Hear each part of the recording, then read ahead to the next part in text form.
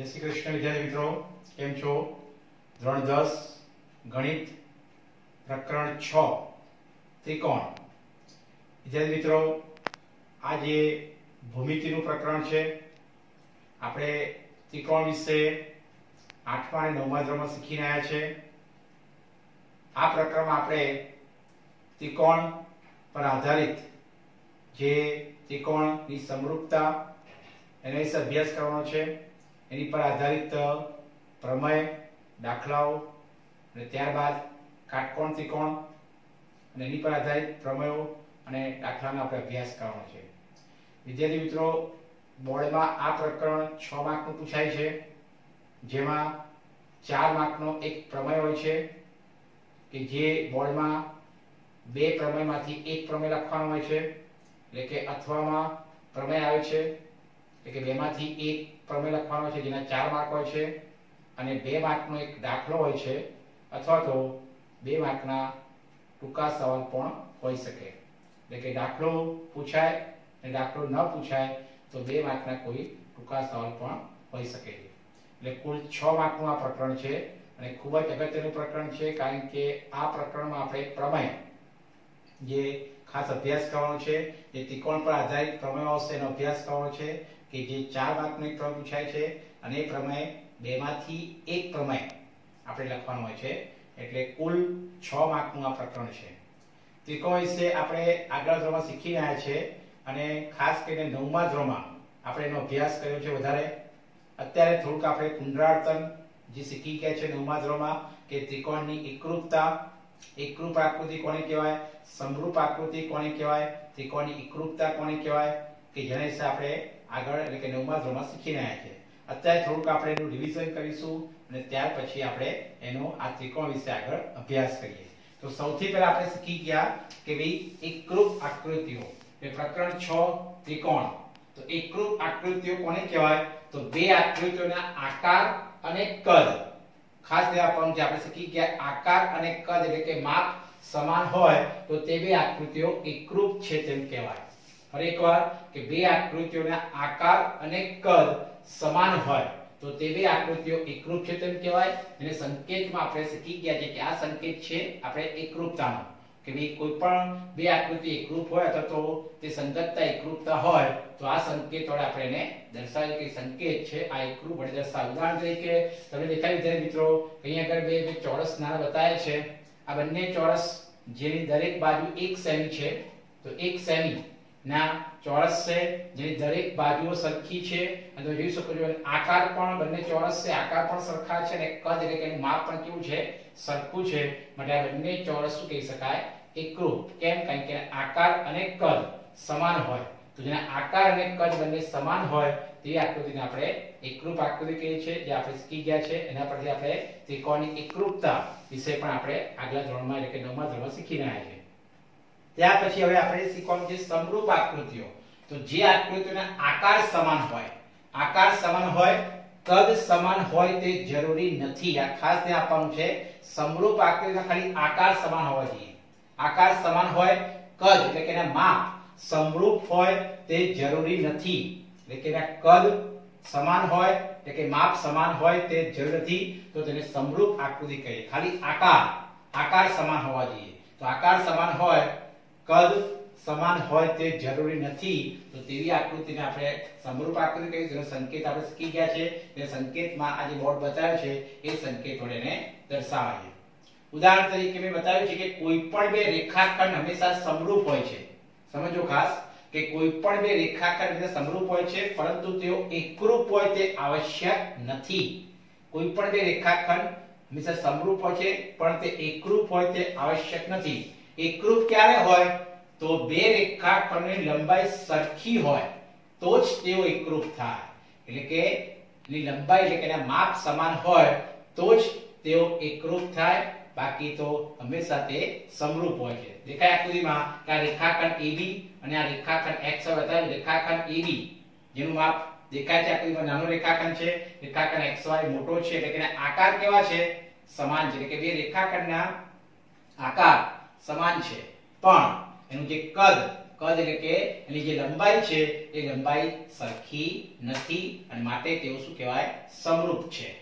એવી રીતે બીજું ઉદાહરણ બતાવ્યું છે અહીંયા આગળ કે કોઈ પણ બે વર્તુળ હંમેશા સમરૂપ છે. દેખાય છે આકૃતિમાં એક વર્તુળ નાનું છે, બીજું વર્તુળ મોટું છે, એટલે આકાર. આકાર એટલે દેખાય છે કે ભાઈ એનો જે આકાર છે બંને ગોળ છે, એટલે કે આકાર સમાન છે. પણ માપ કેવા છે? અલગ અલગ છે.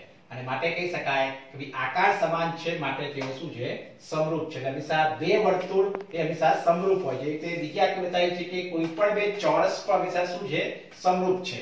કેમ? કે દેખાય છે આકૃતિમાં કે આકાર સરખા છે. પણ એમનું જે કદ છે, એ દેખાય એક નાનો છે, એક મોટો છે. એટલે કે ભાઈ આકાર સમાન છે, પણ એમનું જે કદ છે, એ સમાન નથી. અને માટે કહી શકાય કે બે ચોરસ પણ હંમેશા શું હોય છે? સમરૂપ હોય છે. એટલે કે સમરૂપની વ્યાખ્યા ફરી એકવાર કે સમરૂપ આકૃતિ કોને કહેવાય? તો જે બે આકૃતિના આકાર સમાન હોય, ખાસ ધ્યાન જોઈએ મિત્રો, આકાર સમાન હોય, કદ સમાન હોય તે જરૂરી નથી. અને માટે એવી આકૃતિને આપણે શું કહીશું? સમરૂપ. એનો અર્થ કે બે વર્તુળ સમરૂપ છે, બે ચોરસ સમરૂપ છે, બે રેખાખંડો સમરૂપ હોય છે. એકરૂપ ક્યારે કહી શકાય? કે આકાર અને કદ, જો બંને સમાન હોય તો તેવી આકૃતિઓ એકરૂપ આકૃતિ કહેવાય છે. જે આપણે આ વિશે થોડુંક આપણે નવા નવા શીખી ગયા છે, એનું આ પુનરાવર્તન છે. ત્યાર પછી સમરૂપ બહુકોણ. ખાસ ધ્યાન આપવું જાય સમરૂપ બહુકોણ. બહુકોણ એટલે ખાસ કરીને જેમ કે ત્રણ બાજુ વાળો ત્રિકોણ, એને પણ બહુકોણ કહેવાય, અને ચાર બાજુ વાળો ચતુષ્કોણ, જેને પણ આપણે બહુકોણ કહીએ. ચતુષ્કોણ આપણે ઘણા બધા પ્રકાર શીખી ગયા છે નવમા ધોરણમાં, કે ભાઈ સમાંતર ચતુષ્કોણ સમબાહુ ચતુષ્કોણ, ત્યાર પછી સમલંબ ચતુષ્કોણ, લંબચોરસ, ચોરસ આ બધા આપણે આકાર એટલે કે એના ચતુષ્કોણના પ્રકાર વિશે શીખી ગયા છે. તો અહીંયા આપણે શીખવાનું છે સમરૂપ બહુકોણ. તો એની બે શક્યતાઓ એટલે કે એની બે શરતો છે. પહેલું, જો સમાન બાજુવાળા બહુકોણના અનુરૂપ ખૂણાઓ સમાન હોય. આ ખાસ ધ્યાન આપજો. અનુરૂપ ખૂણા એટલે દાખલા તરીકે કોઈ ચતુષ્કોણ હોય અને બીજો ચતુષ્કોણ એના એક ચતુષ્કોણના ચાર ખૂણા, બીજા ચતુષ્કોણના ચાર ખૂણા સાથે સમાન હોય. એટલે કે સમાન બાજુવાળા બહુકોણ હોય, એ સમાન બાજુવાળા બહુકોણના અનુરૂપ ખૂણા સમાન હોય? અને બીજું, તેમની અનુરૂપ બાજુઓના ગુણોત્તર. ગુણોત્તર એટલે ભાગાકાર. કે તેમની અનુરૂપ બાજુના ગુણોત્તર સમાન હોય, એટલે કે બાજુઓ સમપ્રમાણમાં હોય. એટલે કે દરેક બાજુનો ગુણોત્તર સરખો હોય. તમે જેની અનુરૂપ બાજુ લો, એ એ અનુરૂપ બાજુનો ગુણોત્તર એ સમપ્રમાણ હોય, એટલે કે એનો ગુણોત્તર સમાન હોય, તો તે બહુકોણ શું છે? સમરૂપ છે. એટલે આ સમરૂપ હોવાની શરતો થઈ. આ એક એક માં કહી શકે કે ભાઈ કોઈ પણ બહુકોણ સમરૂપ છે ક્યારે કહી શકાય? એની આ બે શરતો છે. પહેલી, કે અનુરૂપ ખૂણાઓ સમાન હોય.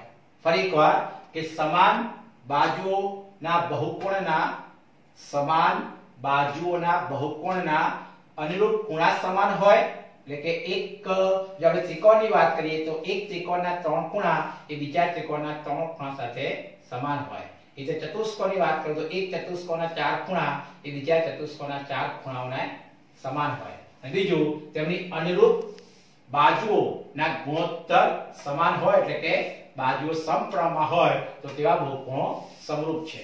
ઉદાહરણ તરીકે ત્રણ બાજુ ધરાવતો બહુકોણ એટલે ત્રિકોણ. સ્વાભાવિક છે કે ત્રણ બાજુ ધરાવતો બહુકોણ એટલે ત્રિકોણ માટે આ બંને શરતો સ્વતંત્ર છે, આ ખાસ ને આપવાનું છે કે ત્રણ બાજુ ધરાવતા બહુકોણ એટલે કે ત્રિકોણ માટે આ બંને શરતો સ્વતંત્ર છે. એટલે કે એક શરતનું પાલન થાય તો બીજી શરતનું પાલન આપોઆપ થાય છે. એક શરત એટલે કે જેમ કે પહેલી શરત કે અનુરૂપ ખૂણા સમાન હોય અને બીજી શરત છે કે તેની અનુરૂપ બાજુનો ગુણોત્તર સમાન હોય. એટલે કે એક શરતનું પાલન થાય તો બીજી શરતનું પાલન આપોઆપ થાય છે.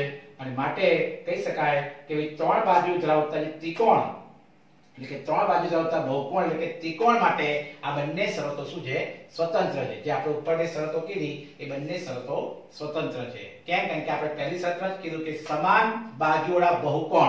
અને સમાન બાજુવાળા બે ત્રિકોણ હોય, તો સમાન બાજુના બે ત્રિકોણ હોય, તો એના અનુરૂપ ખૂણા પણ સમાન હોય.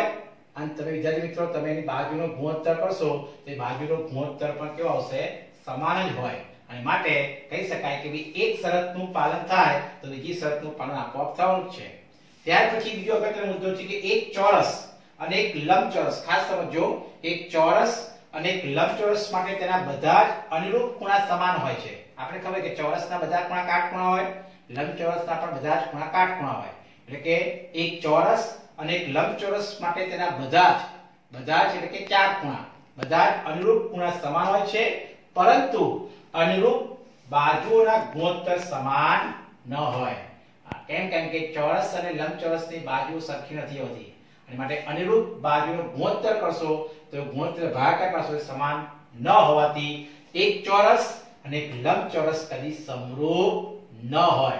ખાસ ધ્યાન આપજો વિદ્યાર્થી મિત્રો એમસીક્યુ નો સવાલ કે એક ચોરસ અને એક લંબચોરસ કદી સમરૂપ ન હોય. કેમ? કારણ કે બંને શરતનું પાલન થતું નથી. કારણ કે ચોરસ અને લંબચોરસના બધા ખૂણા કાટખૂણા હોય, પણ તમે એની અનુરૂપ બાજુનો ગુણોત્તર કરશો, તો એ ગુણોત્તર સમાન નહીં આવે. અને માટે એક ચોરસ અને એક લંબચોરસ કદી સમરૂપ ન હોય. તે જ બીજું એક ઉદાહરણ છે કે એક ચોરસ અને એક સમબાજુ ચતુષ્કોણ માટે તેની અનુરૂપ બાજુનો ગુણોત્તર સમાન હોય. શીખી કે આપણે વિધાય નવમા ધોરણમાં? નવમા આપણે શીખીને આવ્યા છીએ કે ચોરસ અને સમબાજુ ચતુષ્કોણ, જેની બાજુ સમાન જ હોય છે. અને બાજુ સમાન હોય, માટે આપણે એનો ગુણોત્તર લઈએ, તો એ ગુણોત્તર પણ સમાન આવશે, એટલે કે સમપ્રમાણ આવશે. તો કહી શકાય કે ચોરસ અને એક સમબાજુ ચતુષ્કોણ માટે તેની અનુરૂપ બાજુનો ગુણોત્તર સમાન હોય. પરંતુ અનુરૂપ ખૂણાઓ, એટલે કે આપણે ખૂણાઓ એ અલગ અલગ હોય છે અનુરૂપ ખૂણાઓ સમાન ન હોવાથી એક ચોરસ અને એક સમબાજુ ચતુષ્કોણ પણ કદી સમરૂપ ન હોય. કારણ કે ચોરસના ખૂણા અને સમબાજુ ચતુષ્કોણના ખૂણા સરખા નથી હોતા, માટે ખૂણાઓ જે સમાન ન હોવાથી એક ચોરસ અને એક સમબાજુ ચતુષ્કોણ કદી સમરૂપ ન હોય. તો જય મિત્રો, આ એક આપણે શીખી કે પુનરાવર્તન ખાસ ધ્યાન આપવાનું છે કે ભાઈ એકરૂપ આકૃતિઓ અને સમરૂપ આકૃતિઓ કોને કહેવાય? તો એકરૂપ આકૃતિ અને સમરૂપ આકૃતિ વિશેની વ્યાખ્યાઓ પરથી ખાસ સમજવાનું છે અને આના પરથી એક એક માર્કના પૂછે છે અને આના પરથી આપણું જે સ્વાધ્યાય આવે છે અત્યારે 6.1 વિદ્યાર્થી મિત્રો, ચોપડીમાં તમને આના પર આધારિત જે સ્વાધ્યાય આપેલું છે, પાન નંબર 103 ઉપર. વિદ્યાર્થી મિત્રો, આપણું સ્વાધ્યાય 6.1 છે, જે આપણે શીખ્યાની પર છે, પાન નંબર 103 ઉપર. માં ખાલી જગ્યાઓ છે કે કૌંસમાં આપેલ શબ્દો પૈકી સાચા શબ્દનો ઉપયોગ કરીને ખાલી જગ્યા પૂરો. તો પહેલી ખાલી જગ્યા કે બધા વર્તુળો ખાલી જગ્યા છે. આપણે શીખી ગયા કે બધા વર્તુળો એ કૌંસમાં લખી એકરૂપ અને સમરૂપ. તો જવાબ શું આવે? સમરૂપ. કારણ કે બધા વર્તુળો શું હોય છે? સમરૂપ છે. બીજી બીજી બીજી એક ખાલી જગ્યા છે કે બધા ચોરસો ખાલી જગ્યા છે. તો કૌંસમાં લખ્યું છે, સમરૂપ અને એકરૂપ. તો બધા ચોરસો શું હોય? સમરૂપ હોય. કારણ કે એકરૂપ તો ત્યારે જ કહી શકાય કે આકાર અને કદ. જો સમાન હોય, તો જ એકરૂપ હોય. માટે હંમેશા બધા ચોરસ, બધા વર્તુળ, બધા ત્રિકોણ હંમેશા શું હોય છે? સમરૂપ હોય છે. ત્યાર પછી ત્રીજો આપણી ખાલી જગ્યા કે બધા ખાલી જગ્યા ત્રિકોણ સમરૂપ છે. ખાસ ધ્યાન આપજો. બધા ખાલી જગ્યા ત્રિકોણ સમરૂપ છે. કૌંસ પર આપી સમદ્રી બાજુ અને સમબાજુ. તો સભાજી કે ભાઈ સમબાજુ જ આવે. કારણ કે સમબાજુ ત્રિકોણ હંમેશા સમરૂપ હોય. કારણ કે સમબાજુ, કારણ કે બધી બાજુ સરખી હોય છે. અને માટે બધા સમબાજુ ત્રિકોણો સમરૂપ છે. ચોથું ખાલી જગ્યા છે કે જો અ બે બહુકોણ ના અનુરૂપ ખૂણાઓ ખાલી જગ્યા હોય અને બ તેમની અનુરૂપ બાજુઓ ખાલી જગ્યા હોય, તો સમાન સંખ્યાની બાજુવાળા બે બહુકોણ સમરૂપ છે. તો વિદ્યાર્થી મિત્રો, આપણે જે શરત સમજાય કે સમરૂપ બહુકોણ માટે બે શરતનું પાલન થાય છે. પહેલી શરત કે બે બહુકોણના અનુરૂપ ખૂણાઓ કેવા હોય છે? સમાન હોય. એટલે પહેલામાં આપણે સમાન જવાબ આવશે, કારણ કે આપણી શરત છે કે બે બહુકોણના અનુરૂપ ખૂણાઓ સમાન હોય, સમાન એટલે સરખા હોય અને તેની અનુરૂપ બાજુ શું હોય? સમપ્રમાણમાં. સમપ્રમાણ એટલે ગુણોત્તર સમાન હોય. એટલે કે તમે ગુણોત્તર લો, અનુરૂપ બાજુનો, તો એ સમાન આવે એટલે કે સમપ્રમાણ જવાબ આવશે આપણે. તો તેમની અનુરૂપ બાજુ સમપ્રમાણ હોય, તો સમાન સંખ્યાની બાજુવાળા બે બહુકોણ હંમેશા સમરૂપ છે. એમ કહેવાય એટલે જે ચોથી ખાલી જગ્યા છે, એ આપણે સમરૂપ બહુકોણની બે શરતો થઈ. ત્યાર પછી પ્રશ્ન બીજો છે કે નીચેની જોડીઓમાંના બે જુદા જુદા ઉદાહરણ આપો. પહેલું છે સમરૂપ આકૃતિઓ અને બીજું છે સમરૂપ ન હોય તેવી આકૃતિ. તો પહેલું સમરૂપ આકૃતિ. તો આપણે શીખી ગયા કે સમરૂપ આકૃતિ તો કોઈ પણ બે ચોરસ, જે આપણે હમણાં સમજીએ કે કોઈ પણ બે ચોરસ હંમેશા એક કેવો હોય છે? સમરૂપ હોય છે. રીતે કોઈ પણ બે સમબાજુ ત્રિકોણ હંમેશા સમરૂપ હોય છે. કોઈ પણ બે વર્તુળ હંમેશા કેવા હોય છે? સમરૂપ હોય છે.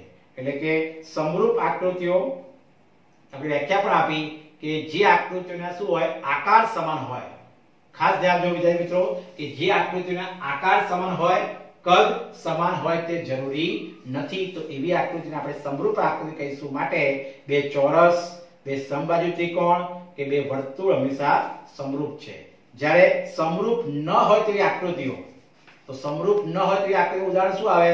તો સમરૂપ ન હોય તેવી આકૃતિમાં કહી શકાય કે કોઈ સમબાજુ ત્રિકોણ સમજો ખાસ, કોઈ સમબાજુ ત્રિકોણ અને કોઈ ગુરુકોણ ત્રિકોણ આપણે લઈએ ગમે તે, તમે કોઈ સમબાજુ ત્રિકોણ અને ગુરુકોણ ત્રિકોણ, ગુરુકોણ લો, કાટકોણ લો, તો કહી શકાય કે સમરૂપ ન હોય.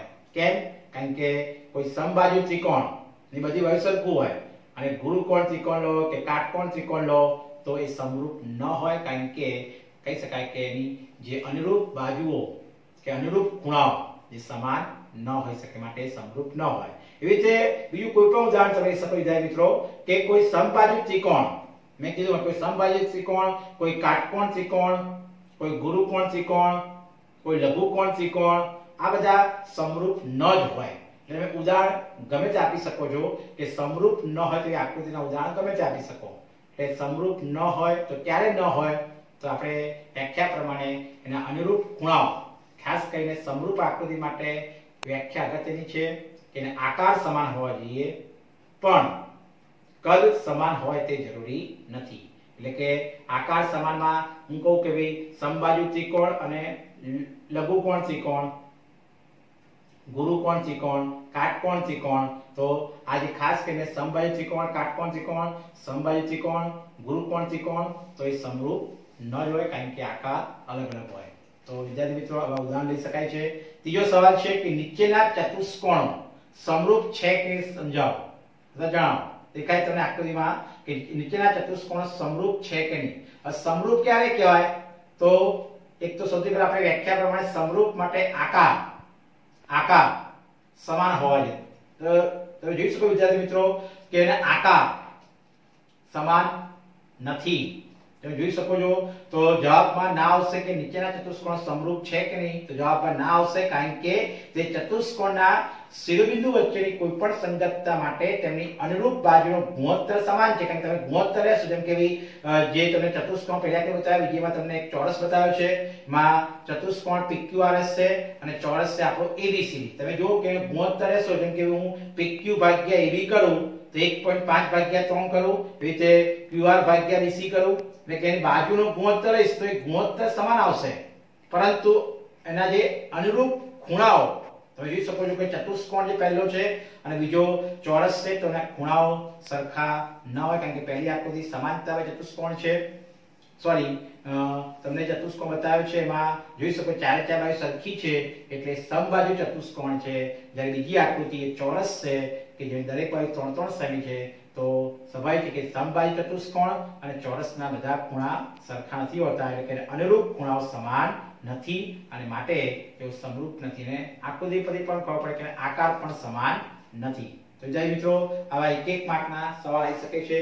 તો ખાસ કરીને એકરૂપ આકૃતિઓ અને સમરૂપ આકૃતિઓ આ એક ટોપિક આપણે જે શીખી ગયા એનું થોડું પુનરાવર્તન હતું, અને ત્યાર પછી આપણે શીખવાનું જે મેન હવે ત્રિકોણ વિશે ત્રિકોણની સમરૂપતા અને એની પર આધારિત હવે એના પ્રમેય આવશે, એનો આપણે અભ્યાસ કરીએ. વિદ્યાર્થી મિત્રો, હવે આપણે જે શીખવાનું છે ત્રિકોણ વિશે, કારણ કે આપણું જે પ્રકરણ નામ છે ત્રિકોણ, તો સૌથી પહેલા આપણે એ જે ત્રિકોણની જે સમરૂપતાની વ્યાખ્યા જોઈએ, તો ત્રિકોણની સમરૂપતાની વ્યાખ્યા, તો આપણે શીખી ગયા પ્રમાણે જો બે ત્રિકોણના અનુરૂપ ખૂણાઓ સમાન હોય અને તેની અનુરૂપ બાજુઓના ગુણોત્તર સમાન હોય, એટલે કે બાજુઓ સમપ્રમાણમાં હોય, તો તે બે ત્રિકોણો સમરૂપ છે તેમ કહેવાય. એટલે કે ત્રિકોણની સમરૂપતા માટે આપણે જે શીખી ગયા આગળ કે ભાઈ એની જે શરતો છે, બે શરતોનું પાલન થવું જોઈએ. પહેલી શરત કે ભાઈ જો બે ત્રિકોણના અનુરૂપ ખૂણાઓ સમાન હોય, એટલે કે અનુરૂપ ખૂણા એટલે એક ત્રિકોણના ત્રણ ખૂણા, એ બીજા ત્રિકોણના ત્રણ ખૂણા સાથે સમાન હોય અને તેની અનુરૂપ બાજુનો ગુણોત્તર સમાન હોય એટલે કે બાજુ સમપ્રમાણ હોય, તો તે બે ત્રિકોણો સમરૂપ છે તેમ કહેવાય અને તે સંગતતા આપણે સમરૂપતા છે તેમ કહેવાય. ફરી એકવાર, ત્રિકોણની સમરૂપતાની વ્યાખ્યા કે જો બે ત્રિકોણ ના અનુરૂપ ખૂણાઓ સમાન હોય અને તેમની અનુરૂપ બાજુના ગુણોત્તર સમાન હોય એટલે કે બાજુ સમપ્રમાણ હોય, તો તે બે ત્રિકોણો સમરૂપ છે. અને ત્યાર પછી, વિદ્યાર્થી મિત્રો, અને જો તે બે ત્રિકોણ સમરૂપ હોય તો સંગતતા પણ શું હોય છે? સમૃદ્ધતા હોય છે. અને ત્યાર પછી એના પર આધારિત આપણે પ્રમેય શીખવાનો છે. તો પ્રમેય શીખતા આપણે શીખી ગયા નવમા ધોરણમાં કે જો બે ત્રિકોણના અનુરૂપ ખૂણાઓ સમાન હોય, સમજો ખાસ, કે જો બે ત્રિકોણના અનુરૂપ ખૂણાઓ સમાન હોય એટલે કે એક ત્રિકોણના ત્રણ ખૂણા એ બીજા ત્રિકોણના ત્રણ ખૂણાઓને સમાન હોય. એટલે જો બે ત્રિકોણના અનુરૂપ ખૂણા સમાન હોય તો તેમને આપણે સમકોણિક ત્રિકોણો કહેવાય. સમકોણિક. કેમ? કારણ કે એક ત્રિકોણના ત્રણ ખૂણા, બીજા ત્રિકોણના ત્રણ ખૂણા સમાન હોય તો તેને સમકોણિક ત્રિકોણ કહેવાય છે. અને ત્યારબાદ શીખી ગયા આપણે કે પ્રખ્યાત ગ્રીક ગણિતજ્ઞ થેલ્સે બે સમકોણિક ત્રિકોણો વિશે અગત્યનું પરિણામ આપ્યું. એટલે કે આપણે શીખી ગયા કે મહાન આપણા જે ગ્રીક ગણિતજ્ઞ અને ગ્રીક ગણિતજ્ઞ થેલ્સ. આ થેલ્સે બે સમકોણિક ત્રિકોણ. સમજો ખાસ કે થેલ્સે બે સમકોણિક ત્રિકોણ માટે એક અગત્યનું પરિણામ આપ્યું. જેને આપણે થેલ્સનું પ્રમેય કહેવાય છે અથવા તો સમપ્રમાણતાનું મૂળભૂત પ્રમેય કહેવાય છે. તો આ જે પ્રકરણનું પહેલું પ્રમેય 6.1 આવે છે કે જેને આપણે સમપ્રમાણતાનું મૂળભૂત પ્રમેય અથવા તો થેલ્સના પ્રમેય તરીકે ઓળખવામાં આવે છે. કારણ કે આપણે બે સમકોણિક ત્રિકોણોમાં શીખી ગયા બે સમકોણિક એટલે કે એના ખૂણા ખૂણા એટલે આપણે જો બે ત્રિકોણના અનુરૂપ ખૂણાઓ સમાન હોય, તો આપણે એને સમકોણિક ત્રિકોણ કીધું. અને માટે બે સમકોણિક ત્રિકોણમાં પ્રત્યેક બે અનુરૂપ બાજુઓની જોડના ગુણોત્તર પણ સમાન હોય છે. વિદ્યાર્થી મિત્રો, ખાસ સમજો કે બે સમકોણિક ત્રિકોણોમાં પ્રત્યેક બે અનુરૂપ બાજુઓની જોડ એ પ્રત્યેક બે અનુરૂપ બાજુની જોડના ગુણોત્તર પણ સમાન જ હોય છે. અને એવું માનવામાં આવે છે અને તેના માટે તેને સમપ્રમાણતાના મૂળભૂત પ્રમેયના પરિણામનો ઉપયોગ કર્યો હતો. એટલે કે થેલ્સે કહી શકાય કે ભઈ આ પરિણામ ઉપયોગ કરે છે માટે એને થેલ્સનું પ્રમેય તરીકે પણ જાણીતું છે. એટલે કે સમપ્રમાણતાનું મૂળભૂત પ્રમેય. તો સમપ્રમાણતાનું મૂળભૂત પ્રમેય કેમ કહેવાય? કારણ કે બે સમકોણિક ત્રિકોણમાં, બે સમકોણિક ત્રિકોણમાં પ્રત્યેક બે અનુરૂપ બાજુઓ. એ પ્રત્યેક બે અનુરૂપ બાજુની જોડના ગુણોત્તર સમાન હોય અને માટે એને સમપ્રમાણતાનો મૂળભૂત પ્રમેય થતો એને થેલ્સનું પ્રમેય તરીકે ઓળખવામાં આવે છે અને આ પાઠ, આ ચેપ્ટરનું પહેલું જ પ્રમેય પ્રમેય 6.1 જે ખૂબ જ અગત્યનું છે કે જે તમારે પ્રતિજ્ઞા પણ મોડે કરવાની છે. તમને એક્ઝામ પૂછે કે સમપ્રમાણતાનું મૂળભૂત પ્રમેય અથવા થેલ્સનું પ્રમેય લખી અને સાબિત કરો. વિદ્યાર્થી મિત્રો, આપણે પ્રતિજ્ઞા પણ મોડે કરવાની છે. તો પ્રતિજ્ઞા ખાસ અગત્યની છે. પ્રમેય 6.1 સમપ્રમાણતાનો મૂળભૂત પ્રમેય અથવા થેલ્સનું પ્રમેય ઇંગ્લિશમાં એને બીપીટી એટલે કે બીપીટી પ્રમેય તરીકે પણ એને ઓળખવામાં આવે છે. પણ ખાસ એ લખવાનું છે? પ્રતિજ્ઞા ખાસ એ લખવાની છે? જો ત્રિકોણની કોઈ એક બાજુને સમાંતર દોરેલી રેખા જો ત્રિકોણની કોઈ એક બાજુને સમાંતર દોરેલી રેખા બાકીની બે બાજુઓને બે ભિન્ન બિંદુમાં છેદે તો તે બાજુઓ પર કપાતા રેખાખંડો તે બાજુઓનું શું કરે? સમપ્રમાણમાં વિભાજન કરે છે. આ એની પ્રતિજ્ઞા છે. પ્રતિજ્ઞા પણ વિદ્યાર્થી મિત્રો ખાસ મોડે કહેવાની છે અને તમને એક્ઝામમાં એવું પૂછે કે સમપ્રમાણતાનું મૂળભૂત પ્રમેય લખો અને સાબિત કરો. તો ભાઈ આપણે પ્રતિજ્ઞા પણ ખાસ લખવી પડે. તો ફરી એકવાર પ્રતિજ્ઞા કે સમપ્રમાણતાનું મૂળભૂત પ્રમેય પ્રતિજ્ઞા શું આવશે? કે જો ત્રિકોણની જો ત્રિકોણની કોઈ એક બાજુની સમાંતર દોરેલી રેખા એ બાજકીની બે બાજુઓને બે ભિન્ન બિંદુમાં છેદે તો તે બાજુઓ પર કપાતા રેખાખંડો તે બાજુનું શું કરે? સમપ્રમાણમાં વિભાજન કરે છે. આ ખાસ એની ત્યારે ત્યાં વિદ્યાર્થી આપણે ત્રિકોણ જોવાનો છે. દેખાય આકૃતિમાં એક ત્રિકોણ છે અને આ જે ત્રિકોણ છે, નામ છે એ બી સી અને ત્યારથી દેખાય છે કે ભઈ આ જે રેખા દોરી છે, એ રેખા જ્યારે એક રેખા આપણે દોરીએ છીએ તો દેખાય આકૃતિમાં કે જે રેખા D છે, એ આ BC ને શું છે? સમાંતર છે. અને બાકીની બે બાજુને શું કરે છે? બે ભિન્ન બિંદુઓ એટલે કે ભઈ AB ને D માં છેદે છે અને આ AC ને શું છે? E માં છેદે છે. અને ત્યાર પછી મિત્રો, આપણે આ જોઈન કરવાનું છે. જે મેં દોરી આકૃતિ કે BE અને આ જે DC અથવા CD જોઈન કરવાનું છે. ત્યાર પછી મેં અહીં પર આ DM જે વેધ દોર્યો છે, એટલે કે લંબ દોર્યો છે DM અને બીજો લંબ દોર્યો છે આ એન ત્યાં તમારે 90 અંશના ખૂણા ખાસ બતાવવાના. વિદ્યાર્થી મિત્રો, જે આકૃતિમાં જે ખૂણા બતાવ્યા એવું થાય, તો બતાવવા પણ એક અડધોમાં કાપી શકાય છે. તો આ આપણે પ્રતિજ્ઞા પરથી આકૃતિના પરથી આપણે પક્ષ સાથેને સાબિત જોઈએ તો પક્ષ, કે ત્રિકોણ ABC ની બાજુ BC ને સમાંતર. દેખાય વિદ્યાર્થી મિત્રો આકૃતિમાં ખાસ ધ્યાન આપજો. કે ત્રિકોણ ABC ની બાજુ દેખાય છે BC BC ને સમાંતર જે રેખા દોરી છે, દેખાય છે આકૃતિમાં આ તૂટક રેખા દોરી છે ડી રેખા. જ્યાં BC ને શું છે? સમાંતર છે. તો BC ને સમાંતર રેખા એ બાકીની બે બાજુઓ, બાકીની બે કઈ આવી? તો બાકીની બે બાજુઓ AB અને AC ને અનુક્રમે આ D અને શું છે? E માં છેદે છે. એટલે આકૃતિ પરથી આપણે પ્રમેય મોડે કરવાનો છે જે આપણે નવમા ધોરણ શીખી ગયા છે કે કોઈ પણ પ્રમેય આકૃતિ પરથી જ મોડે થાય. એટલે પહેલા તમારે આકૃતિ દોરવાની, પછી પક્ષ સાધ્ય સાબિતી આવશે. સાધ્ય. આપણે કહ્યું કે તે કપાતા રેખાખંડનું શું કરે? સમપ્રમાણમાં વિભાજન કરે છે. સમપ્રમાણ એટલે કે સરખા પ્રમાણ તો જો એકાય કાય આવશે અહીંયા ગુણોત્તર, તો AD DB બરાબર AE EC ખાસ ધ્યાન વિદ્યાર્થી મિત્રો, ફરી એકવાર કે આપણે પ્રતિજ્ઞા પ્રમાણે કે જો ત્રિકોણની કોઈ એક બાજુને સમાંતર દ્વિરેખા એ બાકીની બે બાજુનો ભિન્ન બિંદુમાં છેદે, તો તે બાજુઓ પર કપાતા રેખાખંડો. તો કયા કયા રેખાખંડો કપાય છે? એક AD અને એક ડીવી આ ભાઈ કયો કપાય છે ઈ અને ઈસી તો સાધ્ય આવશે એનું જે કપાતા રેખાખંડનું તે બાજુ સમપ્રમાણ વિભાજન કરે એટલે આપણે ગુણોત્તર લઈશું. માટે ગુણોત્તર આવશે AD DB બરાબર AE EC જે આપણે સાબિત કરવાની છે. સાબિતી બહુ સહેલી છે. સૌથી પહેલા BE અને CD દોરો. દેખાય કે મેં તૂટક બતાવ્યું છે? આ BE અને CD દોરો. આકૃતિમાં ખાસ ધ્યાન આપજો. BE અને CD દોરો. અને ત્યાં પછી લંબ દોર્યા છે. DM લંબ AC દેખાય છે આકૃતિમાં આ DM કોને લંબ છે? AC ને. એટલે ત્યાં તમારે 90 સ્વરૂપમાં બતાવવાનો. એવી રીતે EN લંબ AB દોરો. દેખાય છે આકૃતિમાં આ EN લંબ શું છે? AB માટે અહીં પણ તમારે 90 સ્વરૂપમાં બતાવવાનું. તો સાબિતીમાં પહેલું વાક્ય આવશે. આપણે જે અંદર આકૃતિમાં જોઈન કર્યું છે એ પ્રમાણે કે ભાઈ આ BE અને CD દોરો અને DM લંબ એસી તથા EN લંબ AB દોરો. ત્યાર પછી વિદ્યાર્થી મિત્રો આપણે શીખી ગયા કે ત્રિકોણનું ક્ષેત્રફળનું સૂત્ર શું હોય? 1 દૂતીયાંશ પાયો ગુણ્યા વેગ. ખાસ ધ્યાન જો બહુ સહેલું છે.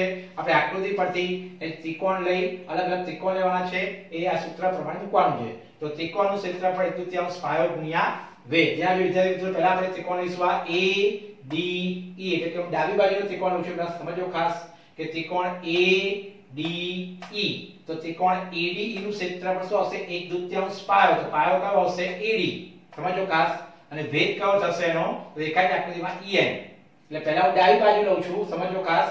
કે પહેલા ડાબી બાજુના બે ત્રિકોણ અને પછી જમણી બાજુના બે ત્રિકોણ.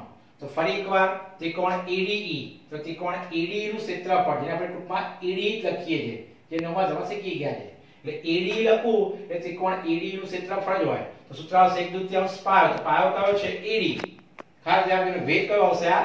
EN ત્યાર બીજો આવશે નીચલો ત્રિકોણ કયો?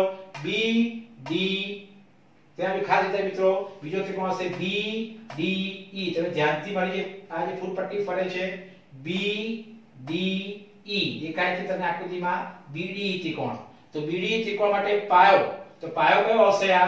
ડીબી અથવા તો બીડી ને ભેદ તો એનો જ આવશે. કયો? EN ભેદ બદલાય, નહીં, ત્રિકોણ બદલાય એટલે પાયો બદલાય છે.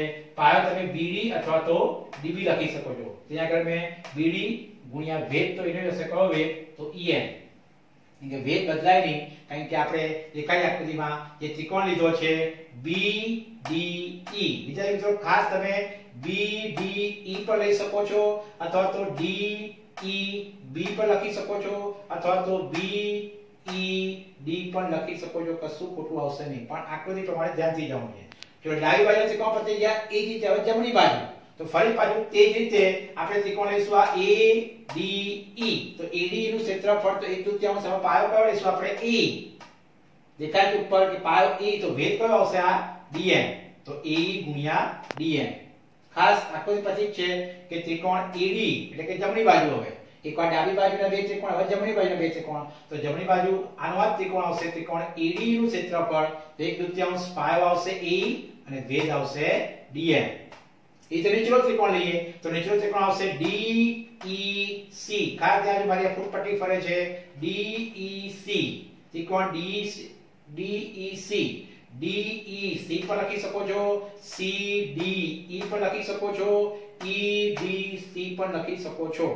તો એક તૃતીયાંશ પાયો કયો આવશે ઈસી અને વેધ તો એનો જ આવશે, કયો? ડીએમ એટલે પાયો ઈસી અને વેધ શું આવશે? ડીએમ તો વિદ્યાર્થી મિત્રો, આ ખાસ આકૃતિ પરથી ધ્યાન આપવાનું છે. અને ત્યાર પછી તો હવે તમારે જોજો જ લખવાનું છે કે આપણે જે પહેલા બે ત્રિકોણ તેનો ગુણોત્તર લેવાનું છે.